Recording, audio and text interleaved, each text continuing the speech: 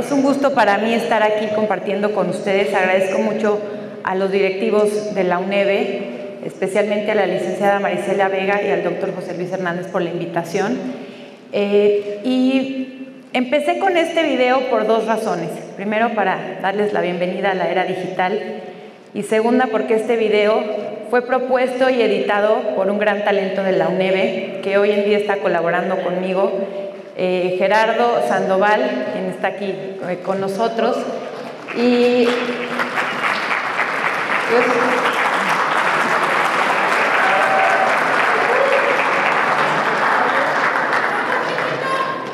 Y bueno, como verán, eh, mi relación no nada más es venir como invitada, sino ya en algún sentido empiezo a ser parte de esta, de esta universidad, porque tenemos en, nuestros proyectos un convenio de colaboración y precisamente eh, tenemos ya a varios estudiantes de la UNEVE eh, colaborando con nosotros. También me acompaña aquí transmitiendo redes sociales, video, Juan Carlos Chávez, que también es otro gran talento, orgullosamente de esta universidad. Y bueno, déjenme empezar ahora sí con platicándoles un poco de la educación en la era digital.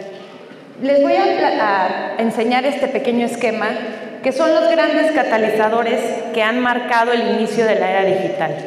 ¿Cómo empieza esta era digital? Empieza a partir de la introducción del Internet a nuestro mundo, pero sobre todo de la movilidad. Una primera etapa, habrán escuchado de la web 1.0, la web 2.0, que eran, mm, eran, estaba basada en el Internet bidireccional, no simplemente era una web informativa, era una web que no había interacción. Y ahora tenemos el concepto de la web 3.0, que entra a partir de la movilidad y de la portabilidad a través de los teléfonos inteligentes y a través de la nube. Esto realmente no nos damos cuenta porque es hace muy pocos años que empezamos, pero ya es parte de nuestra vida. Ya es parte tal que todas nuestras actividades básicamente están, eh, tienen algo que ver con un tema digital, con nuestros teléfonos. Algunos se pasan más de 8 o 9 horas diario en el teléfono, dice por ahí una estadística de Apple, que llegamos a desbloquear el teléfono hasta 150 veces en el día, implicando que cada 10 minutos en el día desbloqueamos por alguna razón el teléfono. Entonces prácticamente hay también antropólogos que dicen que, que ya somos una sociedad cyborg, ¿no? Un cyborg es como el Terminator, como estas, eh, eh, estos personajes que vemos que eran una combinación entre máquinas y, y, y hombres, y al final de cuentas el teléfono se ha vuelto una extensión de nuestra mano. Si pensamos en esta estadística que una vez cada 10 minutos eh, tenemos el teléfono en la mano y lo desbloqueamos, pues prácticamente está eh, incluido en, nuestro organismo y en nuestra vida, ¿no? Entonces, bueno, les voy a explicar poco a poco y paso a paso las tres eh, tendencias básicas de la era digital. Están dadas por la globalización, por las nuevas tecnologías y por la transformación social. Voy a empezar rápidamente a desglosarles cada una. Vamos a hablar de la globalización en el contexto educativo. Eh, tenemos eh, básicamente qué hace la globalización, que hoy en día ustedes como estudiantes ya no están compitiendo eh, contra el estudiante de al lado, con la escuela de al lado de México. Ustedes ya son estudiantes globales. Ustedes ya van a estar compitiendo con una persona que esté estudiando en China, con una persona que esté estudiando en Singapur. Entonces las competencias que tenemos que empezar a desarrollar en cuanto a podernos adaptar al cambio, en cuanto a poder abrir nuestra mente a nuevas ideas, pues son básicas porque si no van a llegar a comernos en cuanto a habilidades. Y también la globalización, el Internet, la conectividad, nos permite estar eh, más al tanto de las mejores prácticas que se usan en otros países. Antes teníamos que viajar, eran pocos los que tenían la posibilidad de viajar, hoy cada vez más personas pueden viajar, pueden hacer intercambios. Es básico que las universidades hoy en día pues tengan esta posibilidad porque viajar y conocer otros paradigmas precisamente nos permite luego venir a implementarlos y nos permite abrir nuestra mente a esta era digital en donde la información está corriendo en, el último, en los últimos dos meses se ha generado más información que en los últimos 200 años en la humanidad. ¿no? Entonces, realmente las estadísticas es, es, es algo impresionante. Y, como les decía, pues conocer otras perspectivas y ampliar nuestro panorama. Eh, ahora vamos con una parte esencial de este cambio de la era digital, que es la transformación social. Tenemos que entender como escuelas, como educadores, que ya no estamos lidiando con el mismo estudiante que lidiábamos ni hace cinco ni hace diez años. Eh, el estudiante, bueno, esto es un poco, ya todos lo deben de conocer, obviamente la línea generacional que va siguiendo, los baby boomers, que son personas análogas, que son personas que todavía pues no convivían, todavía leían el periódico, todavía se suscriben a revistas impresas, ¿no? Y pasamos después a los inmigrantes digitales, la generación X, que es la generación que va del 1965 a 1979, que bueno, ya empiezan a tener un poquito más de, conocimiento, no en su momento, pero ahorita, este, de temas digitales. Eh, esta generación, podríamos decir que entre la generación X y los millennials, eh, por ejemplo, mi generación, yo soy generación millennial, ya muy en, en, la colita de los millennials atrás, pero dicen que seremos la última generación que sabremos lo que es vivir antes y después del Internet. Yo sé que aquí todos son millennials, bueno, la mayoría. y en verdad esto es, esto es un dato que a mí me choqueó, o sea, que, que ustedes no sepan lo que es la, la gente, hay gente que ya nace y le sacan su Facebook, ¿no? Yo todavía me acuerdo la primera vez que saqué mi mail. Yo todavía me acuerdo la primera vez. Ahorita los niños de dos años ya tienen un smartphone. Yo todavía pasé la universidad, salí de la universidad, entré a trabajar y me acuerdo la primera vez que me dieron un, un, smartphone que era así como, wow, ¿no?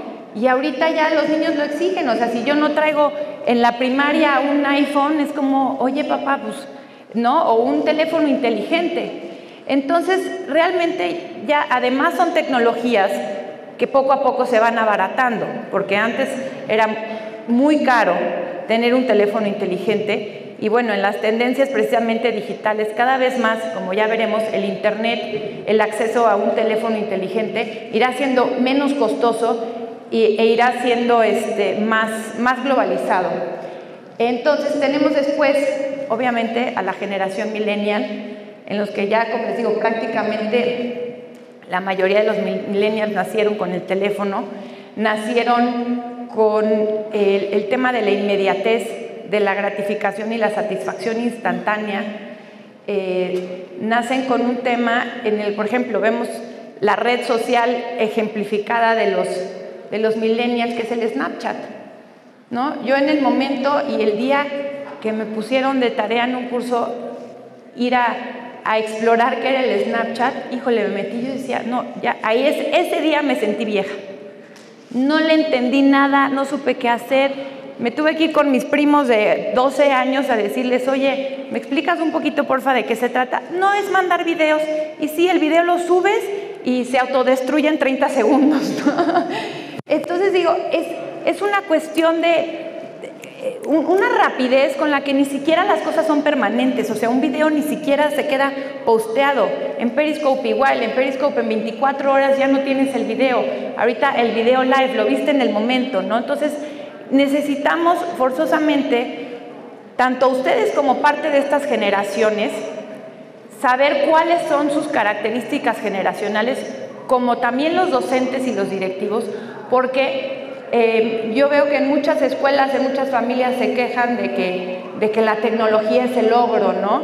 De que, de, que, de que los niños ya no conviven porque están todo el día en el teléfono. Y simplemente es que ya las nuevas generaciones tienen otra forma de convivir. Definitivamente creo que hay que usar el teléfono con moderación porque ya, aunque no lo crean, yo creo que el 80% de ustedes aquí tienen una adicción al teléfono.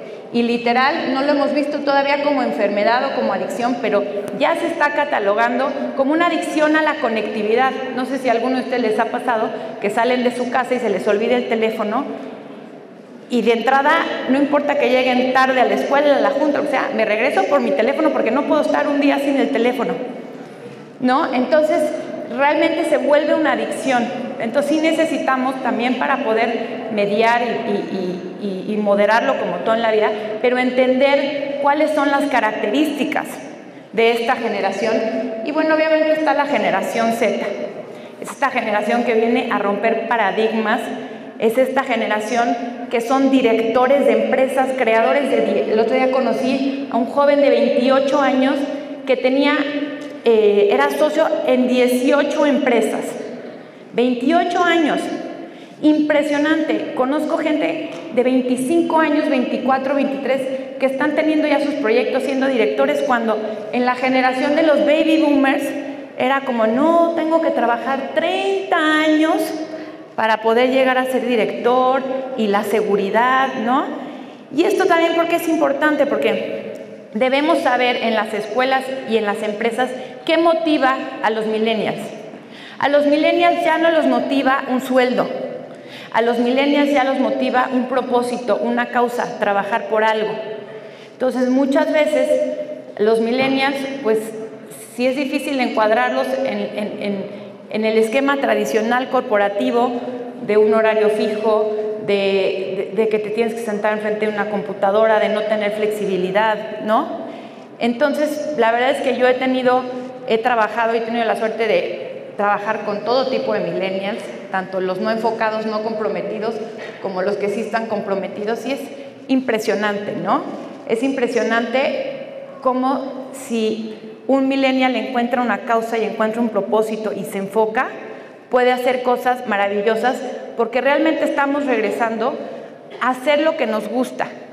Me decía el otro día un director de una empresa que le había renunciado un millennial porque le había pedido, dijo, me voy a ir a India de vacaciones un mes. Y le dijo, pues, pues no te puedes ir, no tienes vacaciones de un mes y pues si te vas, pues no, ya no vas a poder trabajar en esta empresa. Le digo, está bien, me voy. Y entonces pero bueno, pero ¿qué vas a hacer? ¿Cómo así? ¿Te vas? Porque él se quería ir un mes de vacaciones a la India y en la empresa nos le daban esa oportunidad. Y entonces le fue muy fácil pues ir a seguir. Y dijo, no, pues ya cuando regrese, ya encontraré otro trabajo, ya veré en, qué, en qué trabajo, ¿no? Entonces, la seguridad se ha cambiado para como la conocíamos. Esto es importante porque también en las escuelas ya también les estaremos viendo cómo las formas de aprendizaje de estas nuevas generaciones, las formas en las que los maestros tienen que abordarlas, las formas en que tenemos que incorporar las tecnologías en el aula, este, todo esto tiene que ver con el tipo de gente y la generación con la que estamos lidiando.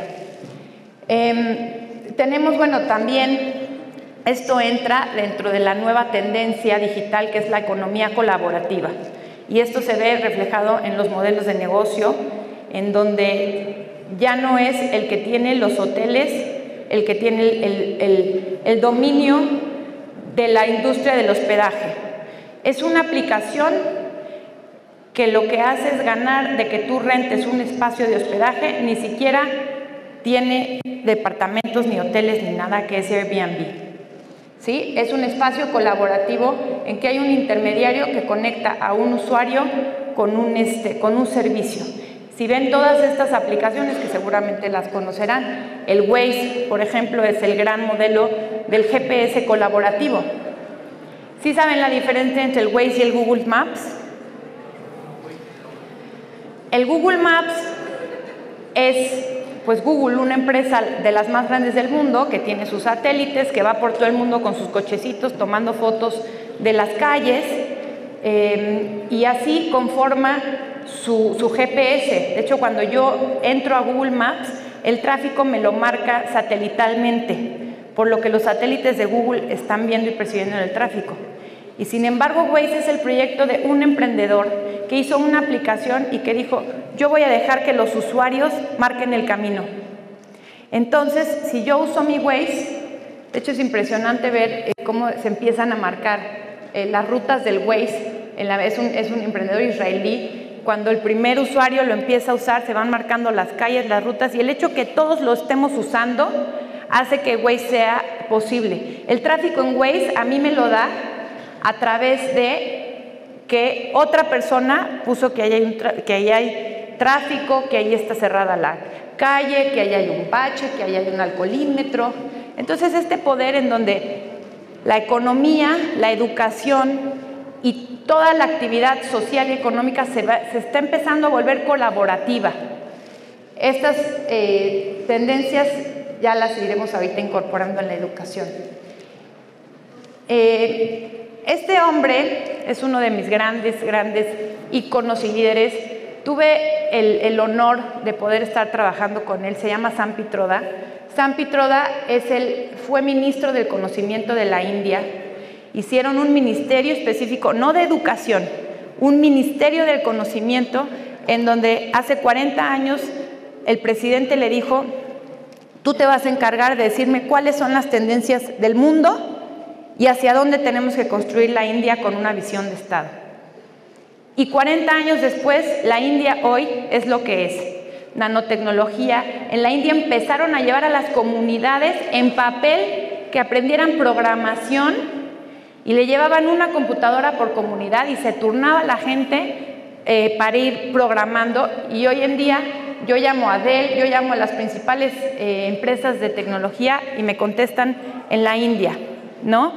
Y decía, decía Sam que le impresionaban dos cosas de México. Primero, que no habláramos inglés, porque nos quitaron esa posibilidad de los call centers, le correspondían a México. Empleos de valor, pero ¿qué pasa? Que la India tuvieron la visión hace 40 años de capacitar a la gente en temas de tecnología y bueno, aparte, tienen el tema del idioma, del inglés, que en México no lo tenemos. En verdad es una de las grandes habilidades y, que tienen que tener, bueno, no es una habilidad, ¿no? es un conocimiento que necesariamente deben de tener, es el inglés. Este, hoy en día, pues todos los programas que usamos, que de email marketing, que de, ya vienen muchos en inglés, muchos ni siquiera están en español. Solo el 7% en, el, en un estudio hecho en el 2015. Digo, probablemente ha cambiado porque en, en estas épocas todo cambia en seis meses, pero solo el 7% de la información en Internet estaba en español.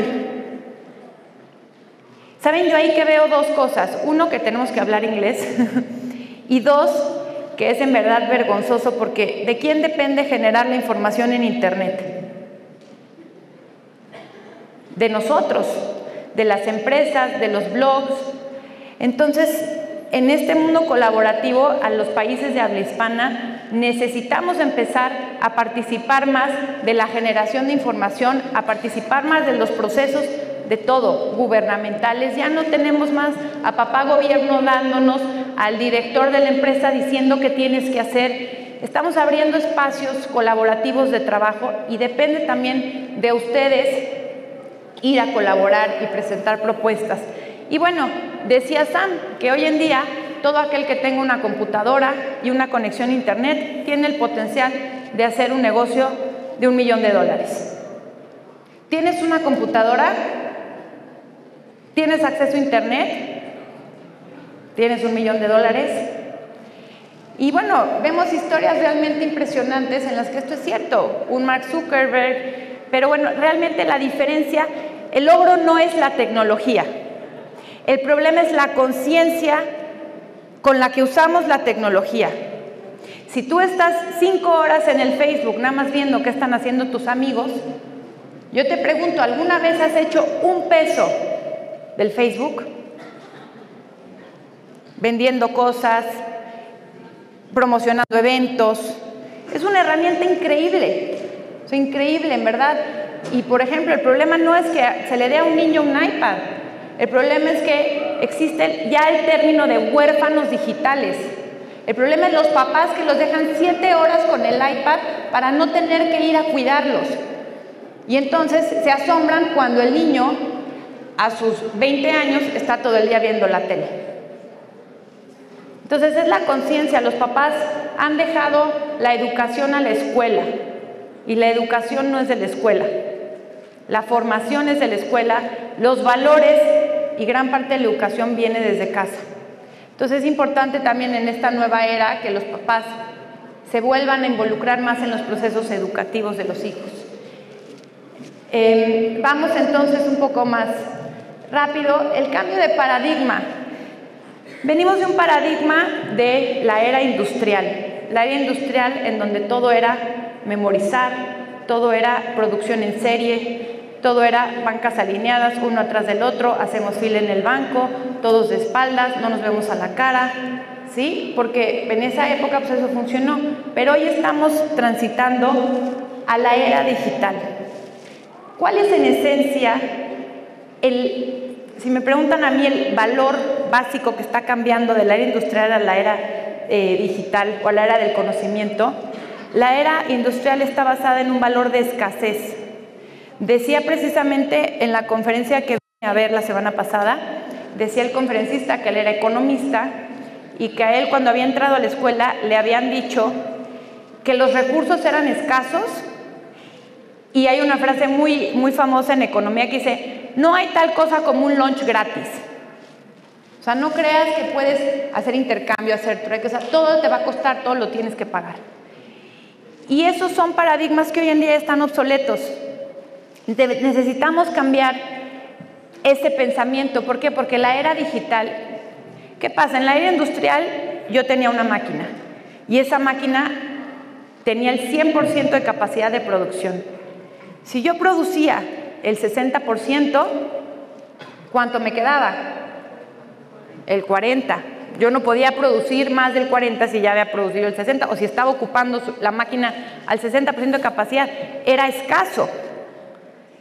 Sin embargo, pasamos ahora a la era del conocimiento, que el valor básico ya no es la producción y las máquinas, sino lo que genera valor es el conocimiento. Tenemos empresas que pueden estar basadas en una computadora, multimillonarias, ¿sí? Cuando antes necesitábamos edificios, necesitábamos corporativos. Entonces, hoy en día el valor lo da el conocimiento. Y entonces el conocimiento, ¿qué pasa? Mientras yo más uso el conocimiento, ¿qué pasa? Más se genera. Entonces, si yo soy mercadólogo y me junto con un abogado, entonces pues se genera una nueva, probablemente hasta una nueva área del conocimiento, ¿no? Entonces, en verdad esa es la base que les podría dar muchísimos ejemplos de cómo aplica en el nuevo paradigma, pero la base es que sí hay para todos y sí podemos todos generar, porque esto nos pasa de un concepto de competencia a competitividad, de un concepto de trabajar yo solo a trabajar en equipo. Inclusive hasta ya las, las, empresas ahorita más adaptadas a este tema, ya dan comisiones, no al vendedor individual, sino dan comisiones por equipo de trabajo. Es decir, si tu equipo no, no se gana la comisión, tú tampoco porque precisamente es este cambio de paradigma en el que trabajamos mejor colaborando. Eh, y esto es precisamente la, la educación en la era industrial, como les decía, todas las sillas, este, todo lineal, inclusive aquí esta caricatura me encanta que dice, este, para, para que tengan una educación justa deberán pasar por el mismo examen. Por favor, súbanse al árbol. Ese es el examen. ¿Ustedes creen que el elefante se va a poder subir al árbol? Pues obviamente no. ¿Ustedes creen que el pescado se va a poder subir al árbol? Y esa es la educación en México. Esa es la educación de la era industrial. Tenemos un mismo examen para todos, sin entender que cada individuo es diferente, cada individuo tiene habilidades diferentes. Les voy a poner un pequeño video que demuestra esto.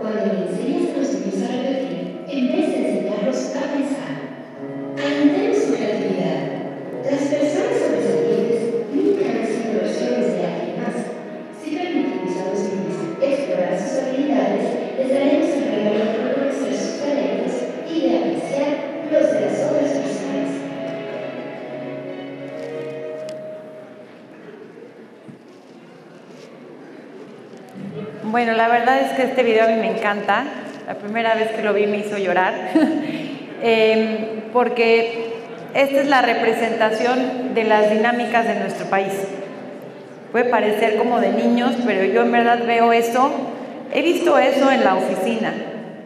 Porque cuando llegas a un espacio en donde te dicen propon, en donde te dice cuáles son tus talentos, qué puedes aportar, y nunca te enseñaron a hacerlo, nunca te enseñaron ni siquiera a conocerte, no sabes ni qué haces bien, no sabes ni cuáles son tus debilidades, qué haces mal, no confías en ti mismo, no sabes ir con tu jefe o con tus compañeros y expresar lo que sientes, lo que no te parece. ¿Por qué? Porque nunca crecimos en espacios donde era permitido, inclusive era malo. Tú obedece, no tú con los chicos, no con los grandes aquí, ¿no? Entonces, entonces realmente eh, estas cosas es importante saberlas. Hoy tenemos el Internet que nos permiten conocer otras prácticas educativas e integrarlas.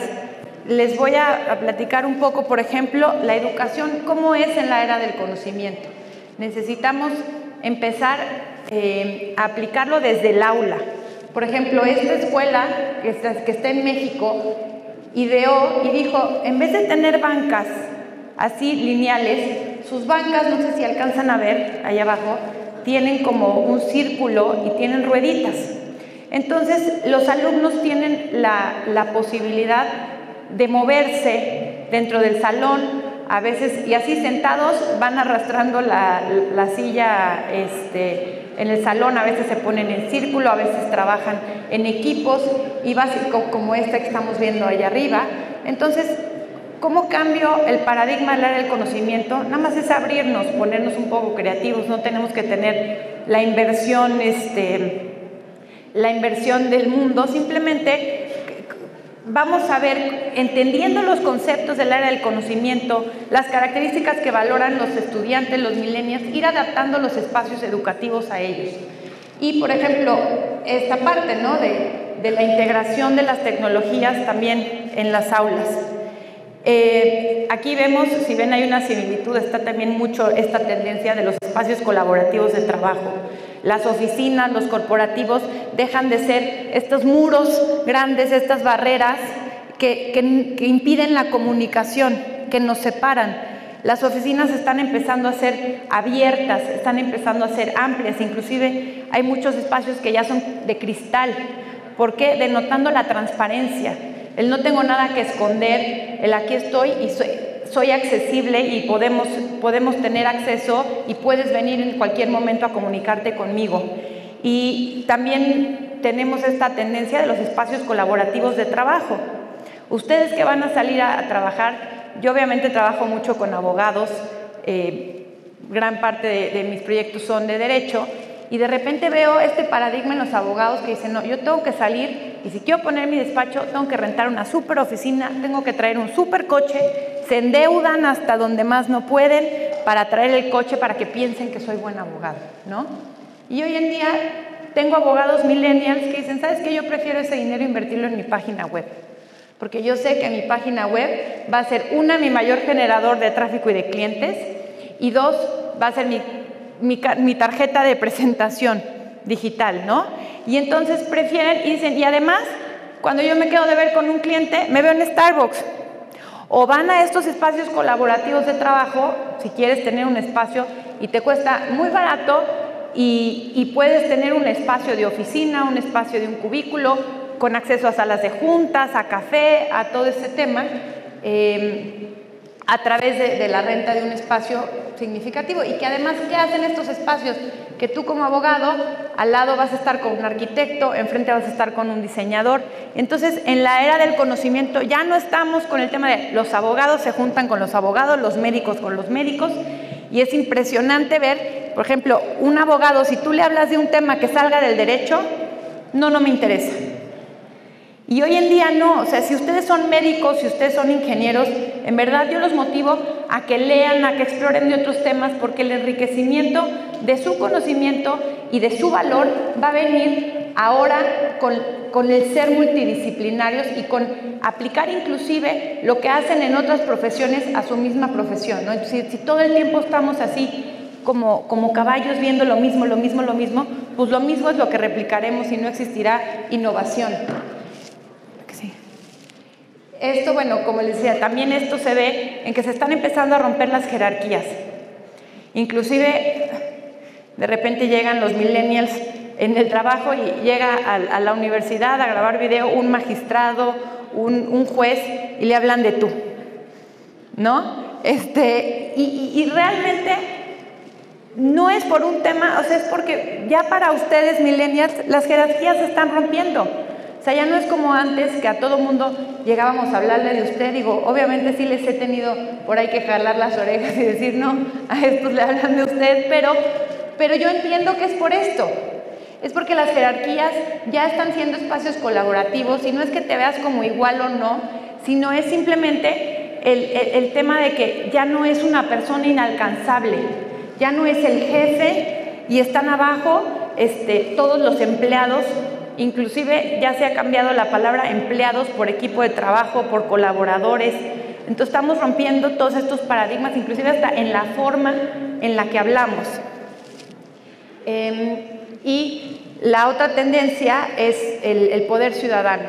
¿no? Hoy en día ustedes, a través de las redes sociales, lo hemos visto en países, los estudiantes, el hecho de que ustedes sepan que tienen el poder de hacer un cambio a través de un tweet, no sé a cuánto les ha pasado, pero de repente tuve problemas con mi internet, 50 llamadas me dejaban dos horas en esperando, no me resolvían y con un tweet, que además retuiteé desde otras dos o tres cuentas, en ese momento, ¿cómo le podemos atender? Por favor, deme su teléfono, le llamamos, le resolvemos su problema. Entonces, esto nos permite entender que también el ciudadano, el estudiante, se está empoderando de una forma diferente. ¿No? Y hay que saber esto también para poder enfocar, porque bueno, todas esas tendencias tienen su lado, no digo bueno o malo, pero consciente y el no consciente, ¿no? Y la otra gran tendencia por la que viene la digital son las nuevas tecnologías. A mí me impresiona que todavía tengamos, eh, yo les diría a los maestros, ¿cuántos de ustedes llegan y dicen, no celulares en, la, en, en, la, en el aula? Yo entiendo por qué, porque tampoco es que se metan, o sea, ese, es, el tema de las redes mal enfocado, ¿no? O sea, de que se metan y no pongan atención este, por, porque están en las redes, pero, pero yo les propondría que en esta nueva era digital, ¿por qué no incorporamos la tecnología a las aulas? El otro día llegué a un salón y lo primero que dijeron, saquen todos sus teléfonos. Yo dije, ok. y, empezó el, el, maestro a decir, bueno, voy a hacer una encuesta y ya hay una aplicación y un programa que tú puedes, ahorita ustedes se conectan, yo les hago una pregunta, ustedes van contestando y aquí en tiempo real yo voy teniendo gráficas de sus respuestas. ¿Sí? Y entonces a mí me pareció una idea increíble porque a partir de ahí fue como una actividad incorporando el teléfono, la computadora, la tecnología para hacer una actividad en tiempo real de explorar paradigmas, de, digo, ya depende del tema, ¿no? Hay muchísimas formas en las que podemos y debemos, si entendemos que las nuevas generaciones traen pegado el teléfono en, en, la bolsa, en la mano, pues, ¿por qué no incorporarlas y decir, ok, quieres usar el teléfono, úsalo? Nada más que úsalo con un fin didáctico, ¿no? Este, la conectividad y el acceso universal a Internet. Pues básicamente la, gran tendencia es que, como les decía, el Internet cada vez se abarate más y que eventualmente el Internet tenga acceso universal. De hecho, vemos eh, en la India, por ejemplo, y ya en México se empieza a ver esa tendencia también, que ya más gente tiene teléfonos inteligentes que computadoras. Es decir, mucha gente puede no tener acceso a una computadora, pero trae su smartphone y trae acceso al Waze y trae acceso a las aplicaciones. Entonces, realmente el Internet y el acceso a la, educación eh, va a cambiar. Esto es un, un tema esencial, o sea, todas las universidades hoy en día deben de contar con Internet. Deben de contar y en la medida en la que también el gobierno se enfoque en que en la educación pública se tenga acceso a Internet, ya sea eh, rural o, urbana, se eliminará también mucho más esa brecha, porque entonces la gente que viva en otros, en, pueblos alejados, podrá tener acceso a nuevos conocimientos y no nada más estar encerrado en su realidad diaria y podrá abrir y ampliar su, su mente. ¿Cuál es el rol del docente entonces en todo esto? Porque como les decía, yo les pregunto, ¿realmente ¿El conocimiento hoy en día está en la escuela? No. Antes el, maestro, el docente tenía el rol de venir a compartir el conocimiento, porque era experto en su tema, porque había leído muchos libros, porque si nosotros queríamos aprender de eso teníamos que leer los mismos libros que él, etcétera, ¿no? Y entonces el rol del docente era venir a decir qué hacer y venir a decir eh, a, decir cuál era la verdad. Pero hoy en día ya no, porque ustedes ahorita, de cualquier tema que yo les esté hablando, pueden sacar su teléfono, buscarlo en Google y decirme, oye, eso no es cierto. Y argumentarme por qué no es cierto. Entonces a eso también hay que entenderlo que de entrada, pues en esta, en esta época de transición, también el docente se siente amenazado muchas veces en el aula, porque el estudiante se está empoderando, porque el estudiante ya no nada más se queda sentado obedeciendo, ya no nada más se queda eh, memorizando, ya de repente se puede parar a decir, no, yo no estoy de acuerdo con eso. Y entonces el docente debe tener una apertura, eh, una cierta humildad. ¿no? A mí me ha tocado de repente, pues docentes de, la, de tener docentes de la vieja escuela que se molestan y se ha llegado a molestar y a salir de la clase porque el alumno les cuestiona un criterio, sobre todo si son jueces o magistrados, porque ellos siempre tienen que tener la razón, su señoría, ¿no? Todavía se les sigue diciendo su señoría. Y está bien que sean su señoría en el juzgado, pero a la hora que llegan al aula, pues estamos, estamos, ya ni siquiera es que estemos al tú por tú, estamos facilitando. El docente ahora es un facilitador y ya ni siquiera puede ser sí del conocimiento, porque definitivamente el docente está ahí porque tiene una expertise en su materia, pero tiene que ser más como un coach, más enseñarle al alumno a aprender y a sacar lo mejor que tiene en él, que a decirle qué se tiene que hacer. Y esta, este, ese viene de un, de un libro, que ya no está ahí el nombre, pero es Innovación Disruptiva, de un autor que se apellida Kristen, que él dice, la escuela del 2020 no existe. No existe, pero la escuela en el 2020 no va a ser la misma que ahorita. Tan solo hace 5 o 10 años no existían los smartphones y, quien fuera a ver que ahorita pues no, no nos concebimos, concebimos sin ellos, ¿no? Eh, y él en este libro dice en su investigación que para el 2019 en Estados Unidos a nivel secundaria el 50% de la educación será fuera de la escuela y con contenidos a distancia. En el 2024 se terminan las escuelas y serán reemplazadas por una forma personalizada de aprendizaje en línea y que el 80% del aprendizaje para estos años va a ocurrir fuera de la escuela. Creo que son un poco este, agresivas estas cifras. Yo no creo que la escuela va a desaparecer. Sí creo que la escuela se tiene que reinventar, definitivamente. Estos son algunos de los ejemplos que hoy en día vemos de que eso ya está pasando. Eh, el, el, Khan Academy, no sé si ubican este proyecto, el Khan Academy, ya, eh, en verdad métanse a verlo, pero Salman Khan es el gran ícono y uno de los 100 personas más influyentes de este mundo según la revista Forbes.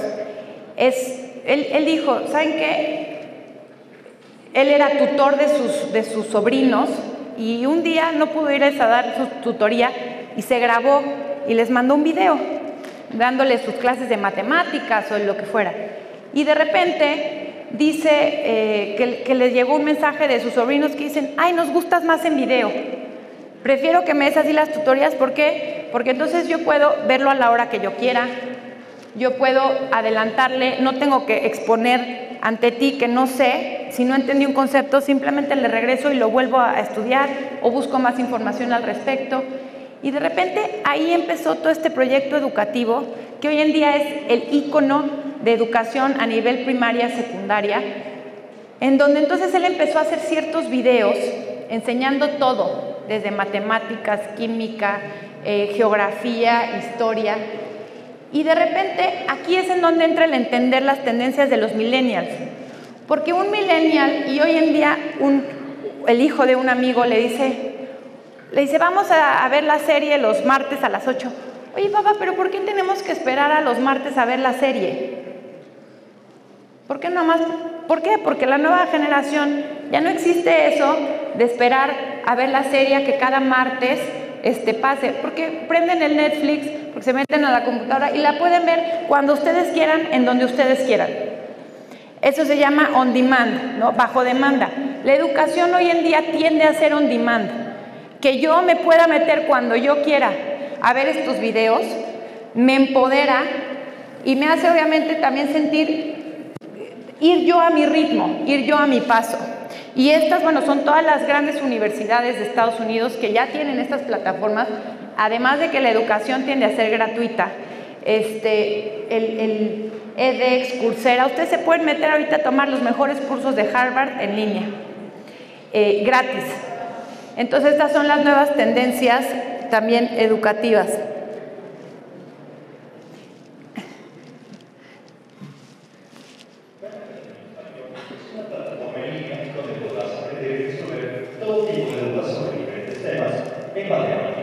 biología, química, física, economía, historia y mucho más.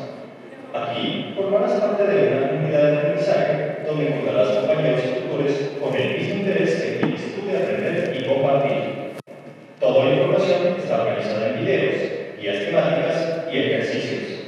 Solo necesitas registrarte con una cuenta de Facebook o correo electrónico para dar seguimiento a tu progreso. También puedes acceder a ese registro a través del menú Aprende. Una vez que selecciones el tema de tu interés, reproduce los videos cuantas veces necesites y resuelve los Esto era nada más como para que vieran un poco de, de lo que es el Khan Academy y que ahora entramos en, en, otra de las tendencias que ya les voy a platicar y que en México todavía no se ha entendido, que son los videos. La educación eh, hoy y el futuro y la educación digital será a través de videos. Por eso son tan importantes y yo en verdad le decía a la directora de la carrera de, comunicación eh, audio, de multimedia, que yo me, impresioné con el perfil de esta carrera y de estos jóvenes, porque en verdad son jóvenes que empresarialmente aportan mucho, porque es una carrera, el que sepa hacer video y programación está en una tendencia. El video hoy en día, o sea, un video, un texto, si un texto se comparte una vez, una imagen se comparte 10 y un video se comparte 100. A ese nivel la gente ya está consumiendo información visual, información multimedia. ¿sí? Entonces es importante porque la tendencia educativa, la tendencia digital de marketing, todo será basado en, videos. Y otra de las grandes tendencias es el gamification. Esto es incorporar los conceptos del juego a la educación y a las aplicaciones. Por ejemplo, en el Khan Academy tú tienes un pequeño avatar, ¿no? Que, vas creciendo, que vas acumulando puntos. No sé si algunos de ustedes usan Waze, Waze también, ¿no? eres, eres un bebé, luego vas creciendo, luego te dan tu corona, luego, wow, acumulaste puntos y eres el mejor Wacero de México. Entonces, este tipo de, de cuestiones en donde yo incorporo el juego, Inclusive si ven muchos videos, también tienden a ser como animados, como, como este tema como de juego, como de niños, ¿no? Que al final de cuentas a todos nos encantan y pues siempre nos permiten contactar con ese niño interior. Los videos educativos es lo que les digo que es la gran tendencia educativa. Eh, y esto creo que en México no se ha entendido. ¿Qué es la educación online en México? La educación en línea de repente el concepto es, ah, pues que se ponga el maestro tres horas a decir su clase enfrente de la computadora y yo lo veo desde mi casa.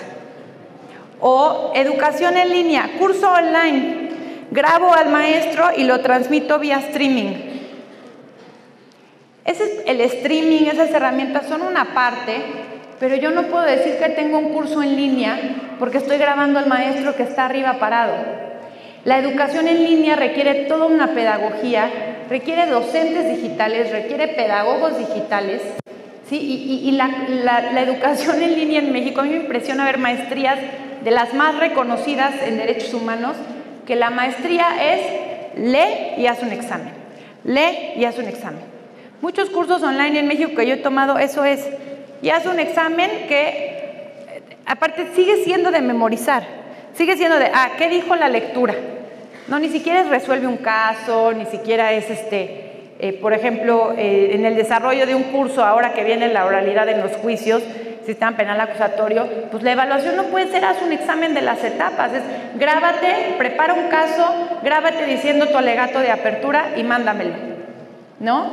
Entonces, eh, sí me parece que necesitamos empezar a cambiar la conceptualización también de la educación online. Si yo veo las plataformas de educación online en la India, en Estados Unidos, todas están basadas en videos didácticos, en videos que vayan cambiando, en videos que, que vayan apareciendo. Entonces, yo, por ejemplo, les puedo decir que a mis maestros tradicionales o con mismo pedagogos que hacen planes de estudio, pues no, no, no a los mismos les puedo pedir que me hagan un plan de estudios en línea porque pues, saben de las, eh, de, los, eh, las habilidades y las actividades de aprendizaje tradicionales, pero el paradigma es totalmente diferente. Inclusive la UNAM tuvo hasta un problema porque pues inevitablemente le, le empezó a pagar más a los docentes que estaban en la universidad en línea y tuvo problema con los docentes presenciales, pero yo sí creo que se requiere una apertura de mente diferente y se requieren diferentes habilidades de estos docentes. Y, eh, ay, se repite esta diapositiva, vamos a la que sigue. ¿Y cuál es el rol de la escuela en todo este cambio? Como yo decía, yo no creo que la escuela vaya a desaparecer, pero sí tiene que cambiar, porque el rol de la escuela ya no es compartir el conocimiento, el rol de la escuela es de entrada ser un espacio de colaboración y construcción del conocimiento. Es súper enriquecedor el hecho de tener este tema, estas conferencias, el poder venir a debatir ideas, ¿sí? Pero entonces, Eh, yo soy fiel creyente de que también la educación presencial no, no se puede sustituir porque el contacto humano es algo indispensable para el desarrollo de la persona. Eh, pero sí la escuela también tiene que empezar a cambiar en el enfoque en el alumno. El enfoque ya no es tengo que terminar todo mi programa y tengo que decirles a todos lo mismo, ¿no? Eh, si, si, si, yo empiezo a conocer a los alumnos y empiezo a ver cuáles son sus intereses, sus motivaciones, puedo adaptar mi forma de educarlos. Y la aplicación práctica del conocimiento. Decían que la escuela en México es como si yo te digo, vas a estudiar una carrera en andar en bici. Y de repente te digo, semestre 1, la historia de la rueda. Semestre 2, cómo se usa un, manubrio semestre 3, las señalizaciones que debes respetar, ¿no? Y de repente así vas y te digo, y te enseñé toda la teoría, te la sabes perfecto, sabes armar una bici, sabes qué partes la componen, y sales de la carrera y te digo, y ahora ponte a andar en bici. Y dices, híjole, pues no, no sé. Oye, pero ya estudiaste cinco años de carrera. Cinco años, que son más o menos 10 mil horas, las 10 mil horas que Malcolm Gladwell dice que se necesitan para que tu cerebro haga la conexión neuronal suficiente para que te consideres experto en un tema. Si tú usaras la carrera como un coaching, como un y a tus maestros como, como, un, como facilitadores enfocado en un proyecto, esas 10 mil horas bastarían para que tú te volvieras experto en un tema. Y entonces, ¿qué pasa? Que estamos pasando de noche en la universidad. No estamos aprendiendo a aplicar. Por eso, la verdad es que a mí me encanta y, celebro mucho este tipo de programas que están teniendo, en donde pueden hacer que los estudiantes vayan a tener práctica, que puedan entender cuál es la aplicación real de lo que están aprendiendo en el mercado laboral. Porque si no salen y dicen, pues es que no me contratan porque no tengo experiencia. Pero no tengo experiencia porque no me contratan. ¿no? Entonces, si tú ya sales de la universidad con un año o con algún tipo de experiencia, ya traes un valor agregado diferente. ¿Y eh, cuál es otro de los roles de las escuelas en este cambio? Son las habilidades blandas. Esto es súper importante y ya con esto voy a terminar, pero ¿qué se valora hoy en día ya fuera en una empresa y nunca nos lo enseñan en la escuela?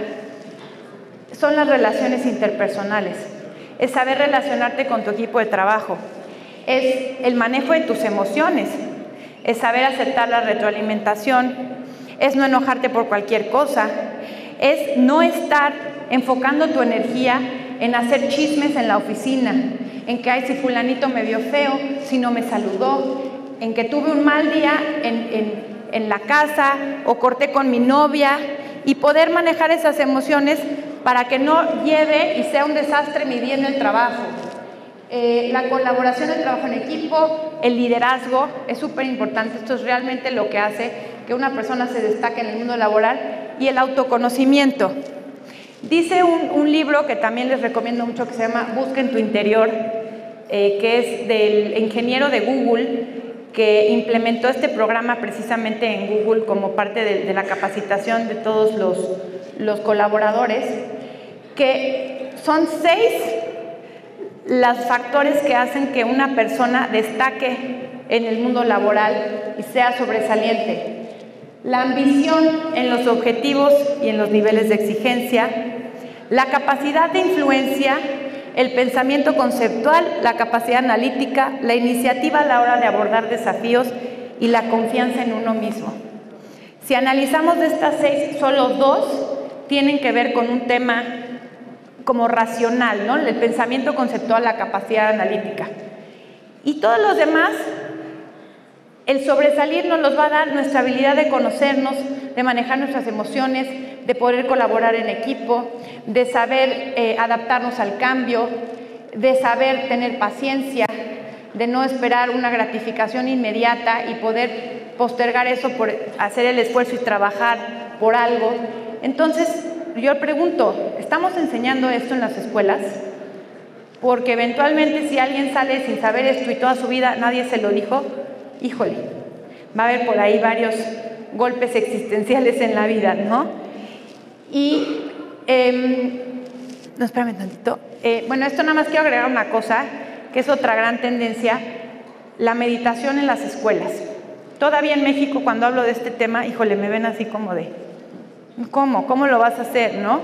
Ya existe en Estados Unidos, ya existe en España, ponen a los niños desde pequeños a meditar. Y meditar no vamos a hablar del monje budista que está, ¿no? Meditar, inclusive nosotros acabamos de implementar esa práctica en la oficina y como equipo de trabajo meditamos tres veces a la semana. Y en verdad en tres meses yo he visto un cambio impresionante.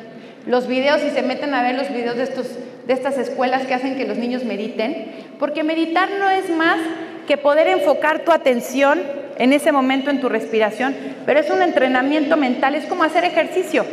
Así como yo hago ejercicio y voy al gimnasio para, para que mi cuerpo esté, se mantenga, también necesito mantener mi mente, mantenerla enfocada, porque en la vida van a pasar eh, tragedias, voy a tener pérdidas, y el hecho de que yo pueda manejarlo emocionalmente va a hacer la diferencia. ¿Sí? La gran enfermedad del siglo es el cáncer. Y el cáncer no es más que emociones reprimidas o mal manejadas, que vamos acumulando y acumulando y acumulando y eventualmente puede llegar literal a que un tema de no saber manejar nuestras emociones nos cause una gran enfermedad, este, hasta puede ser cuestión terminal, ¿no? Entonces, en verdad esta cuestión yo sé que es muy innovadora para implementar, pero ya las tendencias en México, ya hay muchas escuelas que empezaron a quitar la tarea a niveles este, primarios, porque dicen es que el niño a esa edad que, vaya y juegue, que vaya y aprenda, o sea, todavía lo llevas a la escuela cinco o seis horas y además tiene que hacer tres horas de tarea y a qué hora vivió. ¿No? Hay escuelas, como les digo, que ya empiezan a incorporar la meditación, entonces yo les dejo estas ideas, este, porque sí, en experiencia propia y en mejores prácticas, veo que es realmente la tendencia.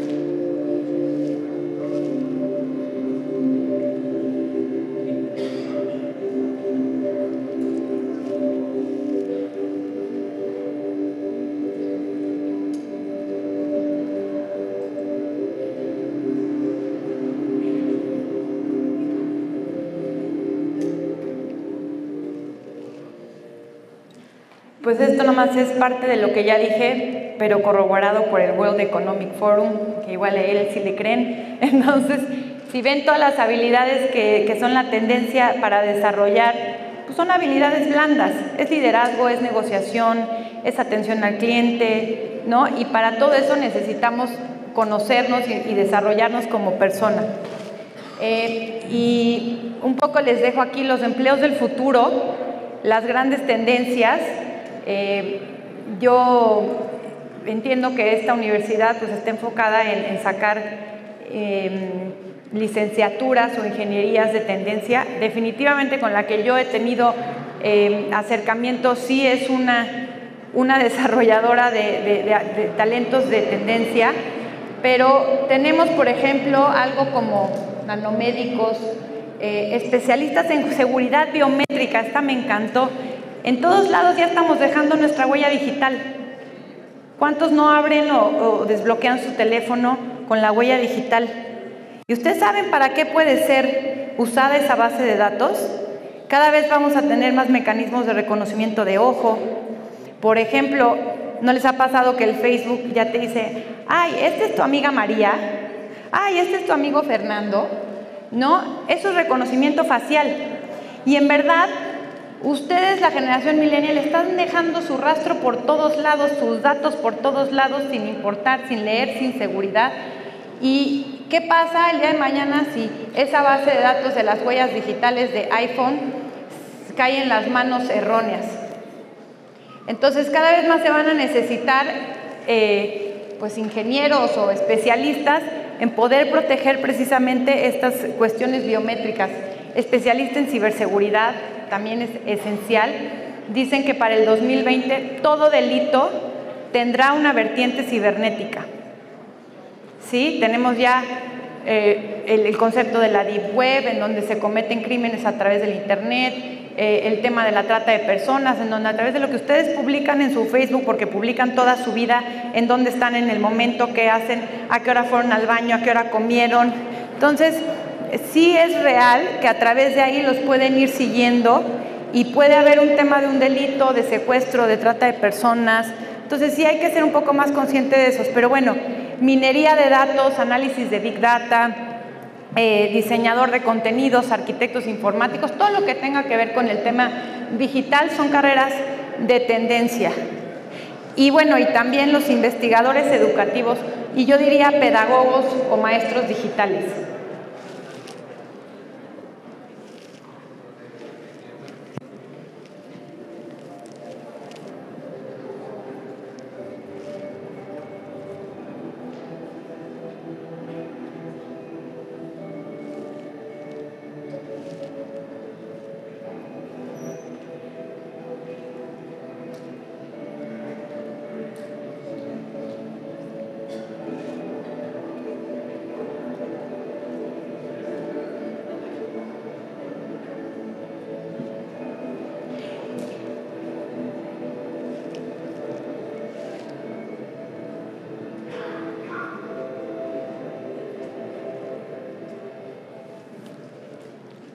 Estas son las tendencias para el 2016, este, pero esa, por ejemplo, la última, la de las enfermeras, es impresionante, yo no sabía ese dato, pero, pero igual está pasando en Estados Unidos, está habiendo una demanda aproximadamente de 100 mil a 200 mil enfermeras y en México no vimos esa tendencia.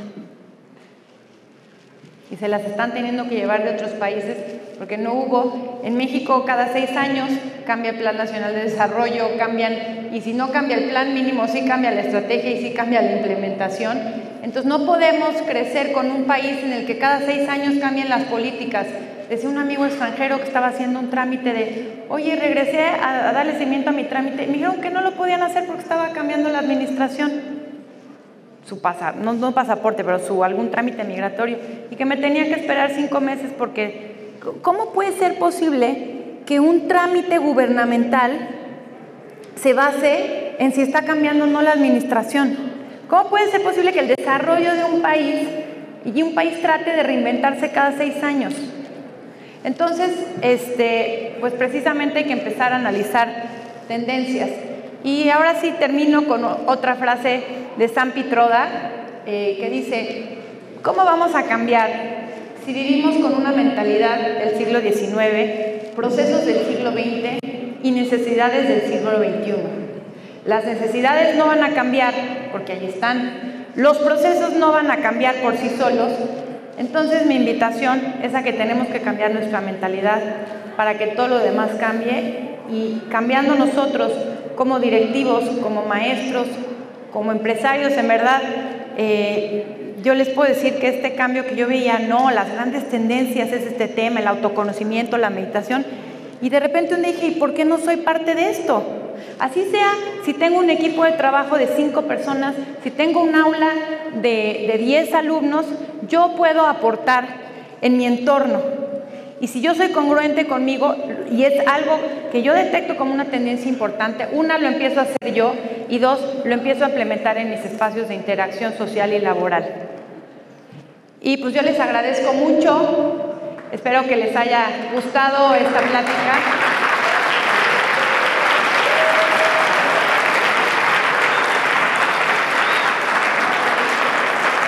Y sobre todo espero que si se llevaron algo de aquí, en verdad lo pongan en acción, porque de nada sirve el conocimiento si no lo aplicamos. Gracias a la maestra tenemos tiempo para unas tres preguntas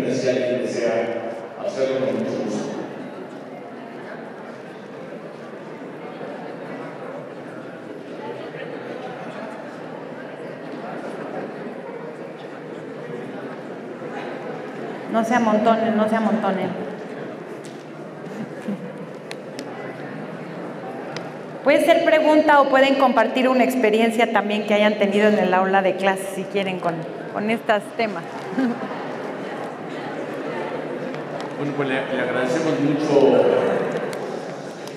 le agradecemos mucho todo el, conocimiento y además el tiempo que nos regaló la maestra en el y le vamos a hacer un presente para nos olvide, van todos los logotipos.